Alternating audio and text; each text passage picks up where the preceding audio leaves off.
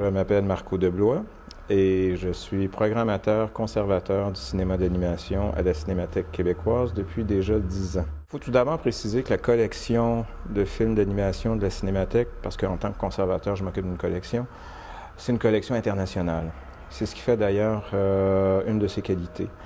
Et la moitié de la collection est composée de films québécois et canadiens. Euh, j'ai eu souvent l'occasion de le dire, euh, l'animation au Québec et au Canada fait partie de, une de nos plus grandes réussites artistiques. Montréal étant la mecque, ou en tout cas une mecque de l'animation au plan international. Ça a commencé lorsque l'Office national du film s'est établi à Montréal vers la fin des années 50, après avoir déménagé d'Ottawa.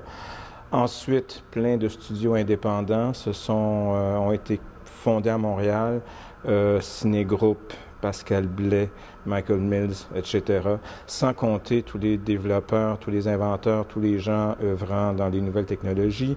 Et euh, à cet égard, il faut évidemment nommer, par exemple, Daniel Langlois avec Softimage, euh, Toon Boom, euh, qui a produit un logiciel d'animation célèbre, hein, d'animation 2D.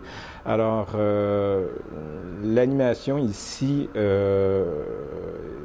constitue effectivement un de nos trésors, apprécié et reconnu à l'étranger, mais euh, jamais à mon entière satisfaction en ce qui concerne la reconnaissance ici. C'est toujours un trésor un peu caché, un trésor un peu méconnu, je ne sais pas pourquoi. Euh, et un des objectifs de mon travail, c'est de euh, démontrer que l'animation ne ressemble pas à ce à quoi on pense que ça ressemble. Et donc, en faisant la programmation, j'essaie de bousculer les idées reçues et de montrer des films qui m'apparaissent importants. En tant que programmateur conservateur du cinéma d'animation à la Cinémathèque, j'ai la responsabilité de faire des programmes réguliers de films d'animation. Et la Cinémathèque fait ça depuis les années 60. C'est pas nouveau. Donc, on a un programme hebdomadaire qui est composé ou bien de films euh, de la collection ou alors de films qu'on fait venir de l'étranger. C'est ou bien des programmes consacrés à des auteurs ou à des techniques d'animation ou à des pays ou à des styles. Mais, euh, bon, en dépit de la régularité des programmes, je trouvais qu'il manquait quelque chose d'important à Montréal. C'est un événement rassembleur pour les gens de l'animation et pour le public aussi, afin que tous ces gens-là puissent se rencontrer. Euh, Montréal a tous les atouts pour euh, être une ville importante euh, au plan, international en ce qui concerne l'animation, mais il lui manquait un festival. Euh, donc, euh, vous savez comment c'est à Montréal, bon, la manie des festivals, euh, on en a beaucoup. Bon, l'animation on n'avait pas, alors pourquoi ne pas en faire un avec l'animation?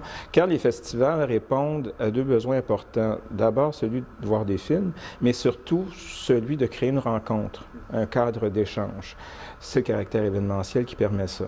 Alors, en développant la formule des sommets, parce que les sommets existent quand même depuis sept ans, euh, en développant la formule des sommets, on s'est dit, tiens, faisons-en un festival. C'est encore un festival modeste. On fait ça avec euh, un budget, euh, mon Dieu, assez, assez petit. Mais notre idée, c'est donc d'occuper la cinémathèque pendant trois jours et aussi de décliner toutes les, de décliner toutes les, pratiques de l'animation tous les genres, toutes les esthétiques depuis le patrimoine comme par exemple avec la rétrospective du praxinoscope au cellulo, qui a été faite par nos amis des archives françaises du film, donc les débuts du cinéma, jusqu'aux nouvelles images, jusqu'aux nouvelles technologies, euh, comme par exemple avec l'atelier d'Ubisoft sur l'animation pour les jeux vidéo, ou alors l'installation. Euh, donc, on espère, on souhaite vivement que la population, que les gens, pas juste le milieu de l'animation, parce que les gens se connaissent bien, ils se voient entre eux, ils se voient souvent, mais qu'il va y avoir vraiment un cadre d'échange, de, de, de rencontre, de façon à ce que la cinémathèque puisse vibrer au rythme de l'animation et aussi pour que euh, il puisse y avoir enfin l'occasion de se voir à Montréal et non pas dans un festival à l'étranger. Une des caractéristiques de l'animation ici, c'est sa diversité. Hein. Euh, il est assez amusant dans un festival, par exemple, euh, on voit les courts-métrages et puis euh, on est capable de savoir au bout de cinq secondes si, par exemple, le nouveau film qui vient de commencer est un film tchèque. Parce qu'il y a une, esthétique qui se rapporte euh, à la production de ce pays-là, une esthétique involontaire, mais il y a un genre, il y a un style. Ce qui caractérise la production ici, c'est vraiment sa diversité, son côté éclaté. La démocratisation des techniques. Il n'y a pas une façon de faire un film, il y en a plusieurs, et ça, c'est l'héritage de Norman McLaren. Donc, premier constat, la production ici est variée. on manie aussi bien des outils de pointe que des outils traditionnels et ça semble vouloir se poursuivre.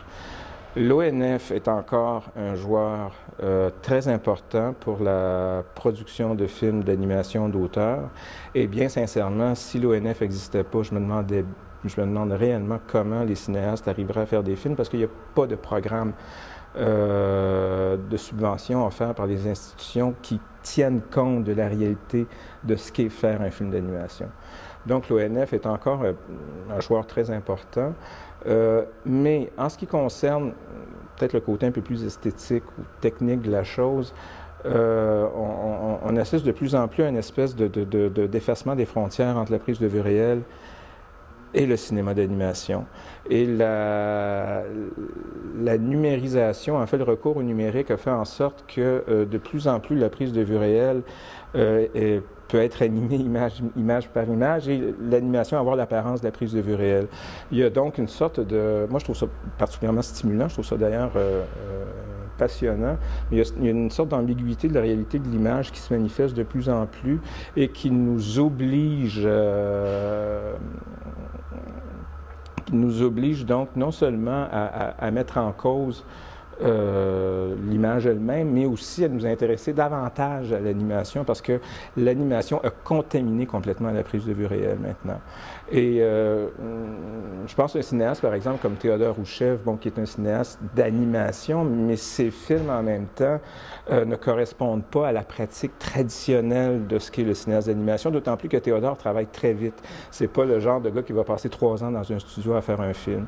Donc, il y a une mutation et on s'en va on s'en va dans une direction et moi, je trouve ça particulièrement passionnant. En ce qui concerne l'industrie, je ne serais pas... Euh, bon, la, plupart des grandes compagnies d'animation, bon, sauf peut-être Nelvana en Ontario, mais la plupart des grandes compagnies euh, de type industriel ont le plus souvent eu des problèmes financiers. Bon, pensons à Sinar, par exemple. Euh, quand on pense à l'industrie de l'animation, on pense par exemple à la production de long métrage.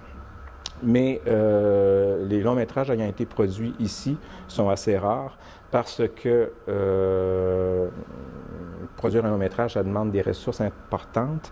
Et euh, compte tenu de la réalité économique du pays, compte tenu du fait qu'ici notre art est subventionné en quelque sorte, il est très, très, très difficile d'arriver à produire des longs métrages, donc d'avoir une industrie réellement forte c'est surtout, euh, je, pense à Pascal Blais, qui, est extraordinaire dans le monde de la publicité. C'est surtout peut-être surtout peut-être à ce niveau-là qu'on peut réellement parler euh, d'une industrie, ou alors vraiment du côté des appareils, des techniques, des outils, Softimage, Toonboom, euh, etc.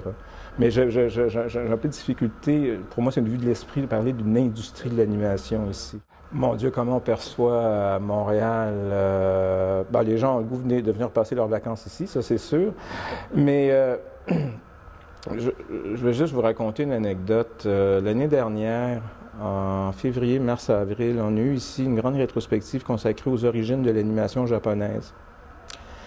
Et le conservateur du National Film Center de Tokyo, M. Akira Toshigi, était ici pour inaugurer la rétrospective. Et le soir, donc, euh, du lancement, il a pris la parole, il a prononcé un discours et il a dit ceci Je suis honoré d'être dans la Mecque du cinéma d'animation mondial. Alors, c'est un Japonais qui fait le voyage Tokyo-Montréal et qui arrive ici et qui nous dit Je suis honoré d'être dans la Mecque de l'animation. J'ai trouvé ça extraordinaire.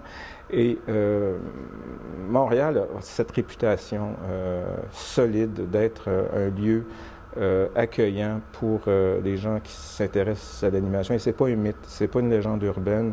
On le reconnaît pas peut-être nous, on s'en rend pas compte, mais euh, à cause de la convergence de tous les acteurs qu'il y ici, à cause de la tradition, à cause de notre savoir-faire, Montréal est un lieu prisé pour l'animation traditionnelle, pour les nouvelles technologies.